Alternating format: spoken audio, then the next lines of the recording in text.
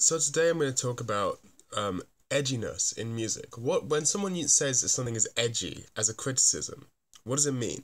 Why why is that a bad thing? Why why what do, what do I like? We have a sense that like okay, so that that emo band that I used to listen to when I was fourteen is edgy, right?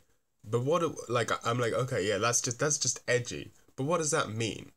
Well, I'm trying to trying to define what it means to me, and in my opinion, it's presenting dark themes without then backing it up, without then justifying those themes with with the proper context that they deserve. It, it's an immature an immature attitude towards these themes of, of darkness, of, of sort of uh, lower lower moods, nihil- nihilism, um, misanthropy, all those sorts of things, right? So I'm, I'm going to be comparing this song, the, the Idiot Sun by Leviathan, to this song, uh, Toxicity by System of Down. Okay, this one I would classify as as edgy and uh, a, more immature take on a darker subject matter. Whereas this one is is one of my personal favorite songs, and I think it does a very good job of um, explaining and uh, contextualizing its subject matter, despite being arguably incredibly edgy, right? So so let's compare the lyrics first of all. So uh, I'm gonna start with with toxicity. I, I'm just gonna talk about the chorus here because Leviathan's of uh, uh, the uh, the idiot sun has very few lyrics, whereas this has very many lyrics. So I'll just talk about the chorus here. Um, so so you, what do you own? The world. What do you own? Disorder, disorder. Now, somewhere between the sacred silence and sleep, sacred silence and sleep, whatever. Somewhere between the sacred silence and sleep, disorder, disorder. So generally just just throwing a bunch of words out there.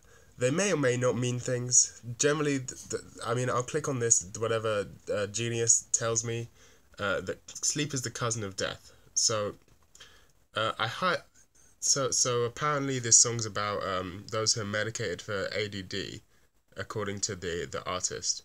Interesting. I didn't know that. Um, now I'm you may have guessed not particularly a fan of this song. Uh, but but the lyrics on them on their own, I could imagine reading something into these if they were presented in the right way.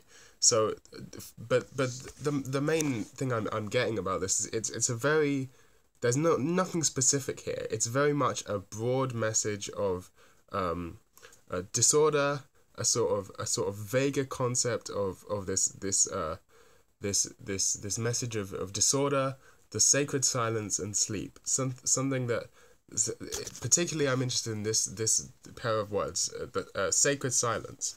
It's sort of a a nice, uh, excuse me, a nice uh, alliterated pair of words that sounds nice to say, but uh, what does it mean? well, no one, according to Genius, no one really seems to understand what it means. Uh, somewhere between the sacred silence and sleep. I, I'm trying to think about what that could mean, and uh, well, perhaps sacred silence refers to death somewhere between sleep and death. So th- that's that's something that I could imagine, or perhaps it's the the silence that you fit that happens before you fall asleep, which is something I can relate to. If you've seen some of my videos, you may know I I definitely understand that mood. However, I'm not quite sure what that has to do with uh, what do you own the world, and uh, how do you own disorder. Um, I'm I'm not quite. I'm just struggling to draw the connection here it's maybe this is just me. I can't see. Uh, to me, it seems like it feels like just a bunch of cool. Not that there's anything wrong with this. I do this all the time as well. On this is not a problem. There's nothing wrong with this. But it feels like a, like some cool words that sound good that are sort of stuck together to rather than give a specific message to sort of evoke a vague sense, right? A, a more a direct emotional sense of um, a disorder and uh, the, the sort of some sort of darkness that comes either before sleep or, or close to death or something like that, right? It seems seems to be something to do with so so the you I'm assuming is criticizing uh, the sort of it, it feels like you what do you own the world right it's sort of what do you own the world like sort of telling these people assumedly the sort of uh, overlords of the world the sort of ruling class uh, uh, you didn't do anything to deserve this. You, what are you doing? How do you own disorder? That's that sort of makes sense. I like this. Like, uh, so so you you you seem to have be in this position where you you claim ownership of all these the world but how do you own the disorder of humans? Yeah, that makes that makes sense. Now, somewhere between the sacred silence and sleep. I'm not quite sure what that has to do with the previous lines, but but uh, it sounds cool. Uh, it evokes a sort of feeling, a sort of sensation of of uh, uh, uh, sitting in a dark room or, or being being lying down close to death, maybe something something along those lines, right? Uh, all all uh, all in all, it's not not necessarily bad lyrics. All of these things they they roll off the tongue well.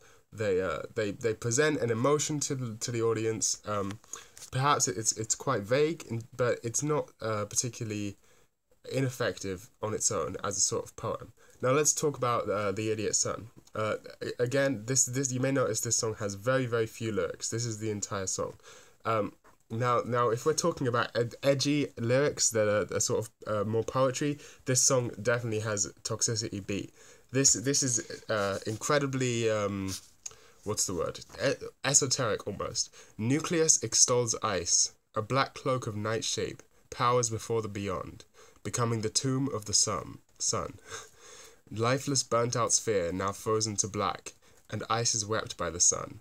Stifled by crystal universe, arctic pitch black pyre, of this sky no more, lifeless burnt out sphere, self destruction universe. So, uh, I'm I'm getting the sense that this song is about the earth or the sun the sun freezing over, right?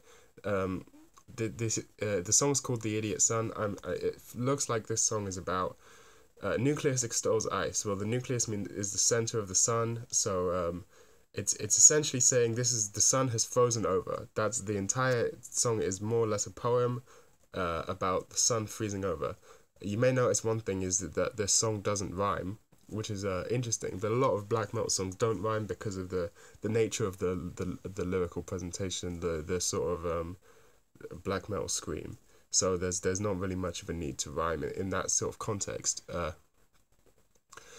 so so uh, from from what I'm saying, it's it's generally uh, you, you it's it's trying to it's based mostly throwing a bunch of imagery at you, right? So um a black cloak of night shape, for example, that that just set, gives you an image of a sort of vampiric figure uh, with a, cl- a cloak flowing behind them as black as the night, you know, as black as the night sky powers before the beyond, right? It's sort of a a, a view of the, the, the open universe, the infinite, right? Becoming the tomb of the sun. So it's it's like this this this cloak of blackness is engulfing the sky and becoming the tomb of the sun. The sun is dying as if it's a, a living thing. It's becoming a lifeless, burnt out sphere. This thing which once gave life to all of Earth is now uh, becoming just a, a a pitch black fucking nothingness, you know? Personally, I think this is some quite powerful imagery, but I can definitely understand how this is also incredibly edgy. Uh, now frozen to black, you know? Ice is wept by the sun. That's in, that's in, that's a very edgy lyric right there. That is, uh, uh, that's that's something that's it, uh, you know, it's it's corny almost, right? So what makes this song much um, work? What makes this song work much better than this song, right? As we've we've said, although this is this firstly this song's much more specific, but but that's not really what I'm going into. Uh, that the main difference between them is that this is this is a about sort of a specific event which um, I imagine is is sort of meant to be or metaphorical, whereas this song is is much more about throwing vague emotions at the audience to to evoke a sort of just a general feeling instead of conjure up specific imagery. Nothing wrong with that. that. That's completely fine. This is the difference between these two songs. The difference is one of them sounds like this. Oh, my speaker just died. Whoops. Oh, doesn't want that.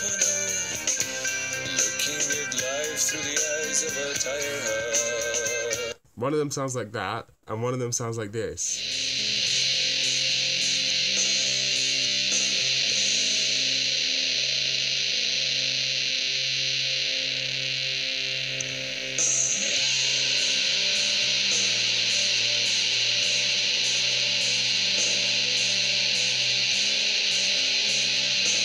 System of a Down you could show to your mum, and she'd probably be like, "Yeah, I understand this. Pretty simple to understand." Look.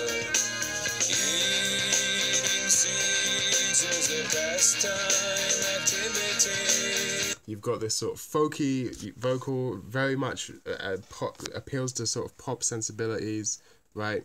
You you got this um, he's got this the, uh, the singer I forget I don't know what his name is, but the singer has this sort of um, vocal intonation that, that sounds almost like some sort of Irish folk song. He does this this like uh in our city like a sort of it feels it feels folky. It feels like some sort of uh, uh it has its roots in in the sort of traditional folk. Um, perhaps Irish music. It, it, that's how I uh, understand it anyway. The toxicity of our city. The rhymes, they're very simple. Toxicity of our city, right? That's a incredibly simple, obvious, basic rhyme. Uh,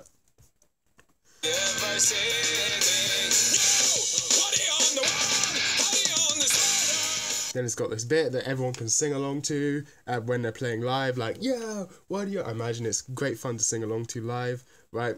So it's it's all about it's it's sort of broad appeal. They're they're sort of thinking the song through about how okay, how can we make this song? And maybe they weren't doing this on purpose, but it, it feels like they're trying to appeal to a, a bunch a bunch of people, right? You see, rather than going for a specific uh, um, image or uh, story. They've gone for a, a vague uh, emotion. Again, that's not necessarily a bad thing. I'm not saying that's a bad thing, but they've gone for a sort of more more vague uh, emotion that that anyone can hear this lyrics and and imbue their own uh, meaning onto it. Uh, whereas a Leviathan clearly do not care about, or he clearly doesn't care about um, appealing to many people. Never plays live so there's no reason for him to modify his songs to sound good live.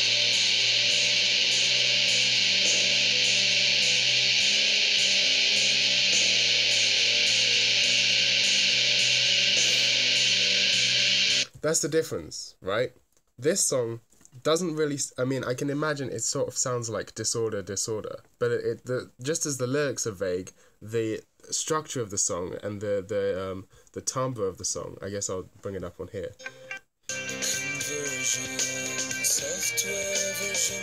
Down to the mix down to the, it, it comes down it, it all it even goes down to the mix right? The the the vocals are mixed very traditionally. You know the vocals are way louder than the rest of the instruments like in any other pop song. Um, the imagery. But he's got he's got the sort of um, Sky, the singer. He has a, a, very specific vocal intonation, which is easily recognizable. You'll notice a lot of pop singers have this sort of thing. Uh, comes to mind is Shakira or Britney Spears. They have this very easily recognizable vocal intonation because it makes them easily marketable. Not saying he does it on purpose, but that's probably why the record one of the reasons that record labels like these guys, right? Um, just skip forward a little bit. You know, you got this very easy to follow melody. Sacred silence and sleep. You know, it's a sort of really easy thing that anyone can listen to it and sing along and, and reproduce uh, in a festival or something like that. You know, this gro- groove you know, really simple to follow groove that has energy in it, makes you bounce. You know, it's clearly targeted at a sort of something that hey, so here's something that everyone we can that when we play it live, everyone will go mental, but you can also enjoy it just sitting down and nodding your head at home because it's got a really easy to follow rhythm, right? It's it's much it's it's so the purpose is this is a product for you to consume, right? that it doesn't really care about the fact that it's dealing with with dark subject matter. The most important thing here is that this is a product, this is a song that you can consume. It's it's easy to follow along to, it's easy to understand and to pass. There's no there's no part of the song where I'm like, what the fuck just happened, you know? I'm like listening to this, it's from down to the drum beat, the the guitar riff, dun dun dun dun dun. It almost sounds like um, I don't even know what I'm thinking of like there's a very clear stru- incredibly clear structure like just a verse chorus verse chorus right? It's you, you it's so super obvious where the verse is and where the chorus is. You hear the verse is quiet then it builds up then you get the the chorus where things are louder and he's he's even you got the right great. Very clever composition to make it so that everyone can sing along to this song and everyone can can understand the the the vibe they're going for the emotion. It's you know every part of the song works towards capturing this this energetic and easy to, to, to pass sense of, of emotion. Now if we listen to the idiot sun right? The first thing you'll notice is that at the beginning of the song it doesn't unlike unlike most metal songs which try and evoke a sort of sense of energy and power if you listen to this it, it starts with a, a guitar riff you know pretty standard and then it gets straight into like a, a sort of heavy jump around you've got the drum pattern right there you go, a little stompy guitar, stompy bit of nu metal. This this guy, I don't know, you know, I'm not even gonna comment on this guy. I'm Not even gonna say anything about him. Uh, but but whereas this song, you'll see it starts off just vocals.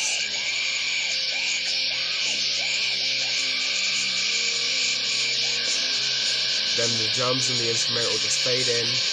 The drums are very simple. They're just serving the song They have a little bit of slap on them, which means slap is when you when you like play a note and it sort of play has a, a single delay like a lot of people use it on vocals. It sort of uh, emulates the sound of playing live where where there's an echo as it bounces off the back wall. Um, it gives it a lot of space. It's this song is whereas this song is all about trying to build an energy that anyone can listen to this song and get hyped right? Um, anyone can can hear this song and be like, oh yeah, I understand this. You know, if I if I just play it here, it's almost like some sort of if I just play it here, I understand. Oh, okay, okay, I understand that. It's going for like all that's all I have to hear. Okay, I understand the song now. Bam. This song, if I was to play it here.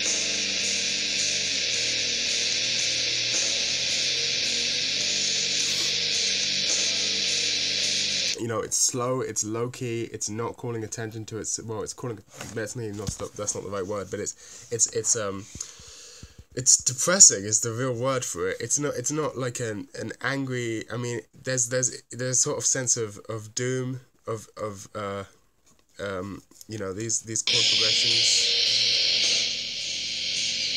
There's a sort of sense of uh something something foreboding something's happening something's um uh, there's sort of a, a building sense of, of all hope is lost. That's the sense I get out of it, which perfectly reflects the lyrics. See, this is the big, this is, now we're finally getting to my point. The reason that this song does it so much better, dealing with a, a very dark and edgy subject matter, is because it's not afraid to present the the instrumental and the entire vibe of the song as ugly, which is what the subject matter is, right? This is the reason that System of a Down can never effectively um, make their music sound like their lyrics. Because he may be saying disorder, disorder, but the fact is, this song is in 4 4, it's got guitars, it's got drums, it's focused on being a catchy, riffy song, right? To appeal to people, to sell records, okay? It can never truly affect the, the uh, truly bring out emotions of disorder because the song itself is very ordered. There is nothing unpredictable unpredictable about this song. There's nothing ugly about this song. Every part of this song is is pretty and clean. You know, down to the vocal mix, down to the the drums and the guitar, uh, uh, always perfectly quantized, uh, perfectly mixed. There's no distortion on any of the vocals you hear how much louder the vocals are despite the fact that he's just singing quite quietly. Imagine if these were all in the same room as each other, right? Without a mic'd up vocals, uh, the drums would be way louder than everything else, guitars would be quiet, and then the vocals would be basically you wouldn't be able to hear it. I mean, it's electric guitar, so they could be as loud as the drums. Vocals, you couldn't, according to the sound that he's making, you know, they've tried to catch a very, it's pretty much just his vocals it's it's just the vocals with a little bit of reverb and compression and probably some boosts on the high end. Definitely boosts on the high end. You know, nothing interesting there. Whereas this vocal mix, well, it has a it has um it has reverb on it. It has a, a, a, a delay on it. It has distortion on it. Right. It's the drums. They're fucking uh like they sound like they're in a cave the guitar is just sort of comes from all directions and surrounds you, imprisons you like this bloke. It feels ugly. It doesn't sound like.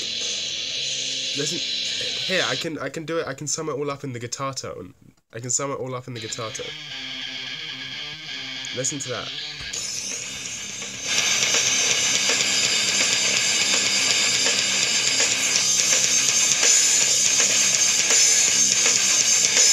That guitar tone is just the same the same tone that every single like it's it's the most basic bitch metal tone you could possibly have you know maybe they probably tuned in drop d i'm assuming you know, eh, you've heard that that tone a billion fucking times. You understand. You have that tone associated with ah yes. Look, they they they even make it really obvious you for you in the video, so that no matter how stupid you are, you can understand.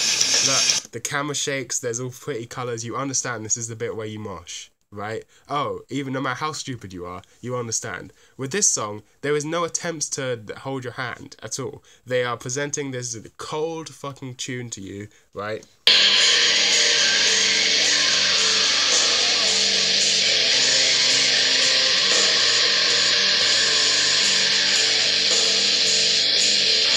There's no attempts to hold your hand and show you like this is the bit where you sing along, this is the bit where you mosh, this is the bit where you you shout the lyrics, this is the bit where you uh, go quiet. You know, it's all just like here's emotion, here is atmosphere, here is justification, here is ugliness, because I'm talking about the fucking sun going out, right? That's not a pretty thing, that's not a nice subject matter, it deserves to be expressed with with a horrible, ugly tone. You know, this is the entire point of, of why the the second wave black metal is, is it sounds like it was recorded on a toaster because it's supposed to sound ugly because it's talking about ugliness. You can't properly rec- represent these dark themes that don't feel good if the music sounds so pretty, right?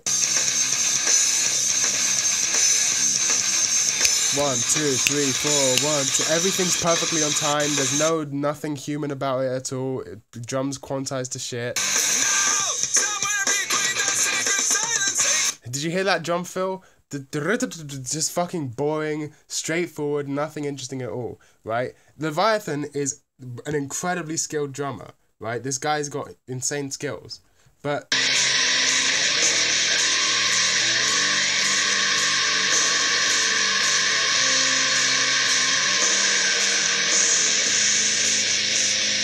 Do you hear any crazy out of place drum fills? No, because the song doesn't call for it. He's the song is uh, atmosphere, pure raw atmosphere.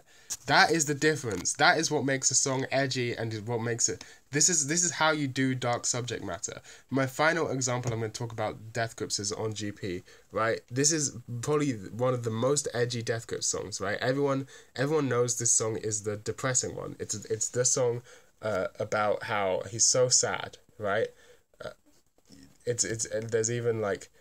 Uh, you know, I wouldn't believe how many nights I ain't die for you on GP. That's a pretty fucking cheesy look. That's about as corny as a Death Grips get. But here's the difference between uh, why Death gets it right.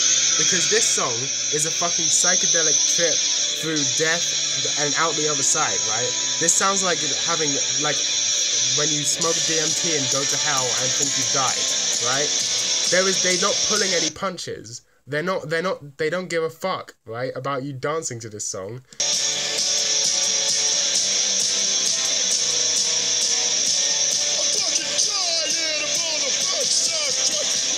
Listen to that. It's just it's just pummeling it into your head that He's fucking tired of all the perks. He's tried nothing. Everything works. You know. There is no. There's no pulling punches. There's no. There's no t- taking the message back to sell something. It's. It feels raw. You got this organ. Why is there an organ? Right. In any other song, I'd think this was just cheesy as fuck. But somehow they pull it off. Ride's vocals just tie everything together. And that's the other thing, which I haven't even really talked about with this song is that that I haven't even talked about with this song is that the the lyrics right? This is if you you you read this shit which I'm assuming you have right? There is no fucking it's it's there's there's no again there's, they don't pull punches. They're they're fucking explaining themselves, right? They're not they're not like hey, we can't we can't put uh we can't hey, hey, hey, we can't you can't say um you, you can't say uh my most recent purchase old black robe gonna learn how to tie it hanging in my chamber. That'll alienate the fans. Nah, they don't give a fuck. They're not saying like any you know, you know what I'm saying. You know what I'm trying to say. They don't. They don't. the The point is, the lyrics are ugly and obtuse, and and sometimes strangely to the point, because that's how sadness is. That's how sadness is not pretty. Sadness is.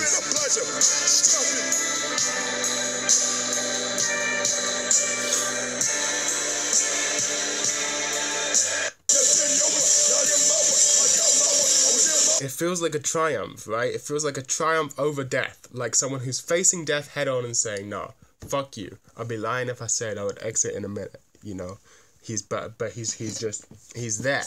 He's at he's at death's door and he's like, "Nah, you know what? Fuck you. I'm gonna keep on going just because I can."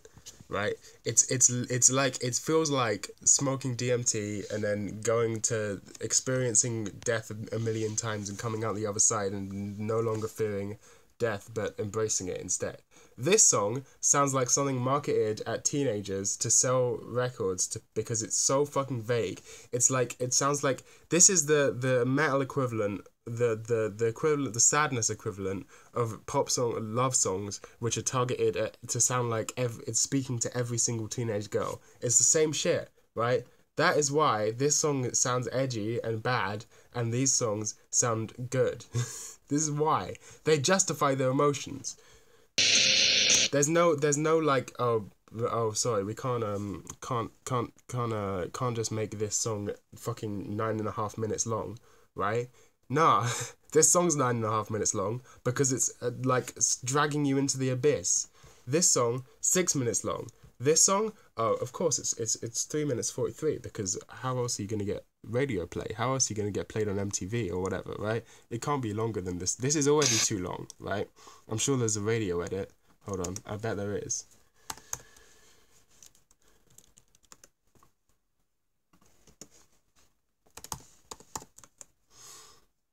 Oh, it's only the fucking. Okay, maybe not. Maybe I was wrong. Okay, I'm wrong about one thing, but still, all their songs, look, again, Chop Suey, even more popular. Oh, wow. It's the, hold on, did you notice something? It's the exact same beginning as the other song. Single guitar with clean tone plays a, the chord riff. And then, a little bit of build up. And then, they tell you this is the bit where you dance. You know, the drums go, the drums go. Here, look, he's staring in the camera. This is the bit where you do the dancing. This is the bit where you do the dancing. Look, you can hear it because the drums are in it and it's loud. You understand? Hold on, let's. Okay, this is the bit where you sing along, guys. Come on.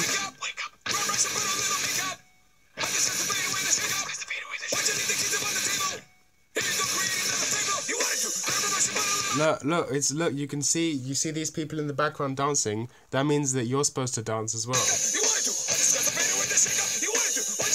Ooh, look.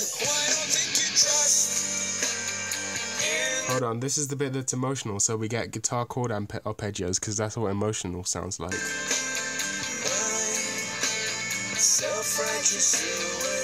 Oh, we got we got a harmony. You see, that's this is what emotional sounds like. And he said suicide, so you know it's emotional because it definitely means things. He said self-righteous suicide. That's a that's a meaningful pair of words. What is it meaningful? Who knows what it meaningfuls, but it meaningfuls because he said it. And there was guitar arpeggios in the background. Look, he said angels. That's Christian imagery, guys. What is this? Evangelion? Whoa, whoa, it's the bit where you shout again. Come on, guys, remember to dance to this song. Um, if we go too long without a danceable bit, then it then it won't sell as many records.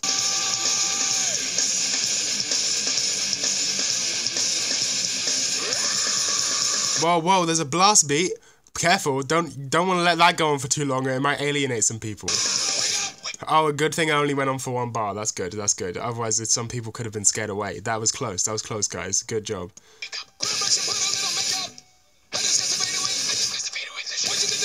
Look, look. Did you hear how it goes loud and then quiet? It's it's it's it's um it's uh it's quirky. It's it's like it's uh it's like it's look. It's not like the other kids. It's it goes loud and then there's whispering. You hear that? You hear that? This song has absolutely no qualms about fucking a wall of guitar noise, barrage and like just blasting you at all times. You hear that? Did you hear that? Ew! Hold on a minute, that wasn't very pretty. What if this doesn't sell as many records? Oh, wait, let's do a little comparison here. This has uh, 190,000 views. This has uh, 782 million views. Okay, so let's think about this. If a song appeals to 782 million people, the message must be incredibly fucking vague, right? because 708 for 782 million people to or, or even 3.7 million likes right to appeal to understand like to, to be like yeah this song feels like it's speaking about me that must be the most incredibly vague and and uh, easy to like pass message lowest common denominator message of all time right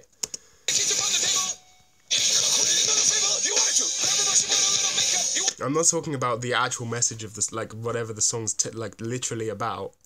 Obviously, I'm talking about a deeper, like a not the just the literal meaning of the lyrics. You fucker. I'm talking about like the the essence of the song, right? It's incredibly easy to understand. Oh look, here's the quiet bit again where it's emotional because there's a clean guitar tone and did you hear that? It's an arpeggio. Oh, there's there's a piano now.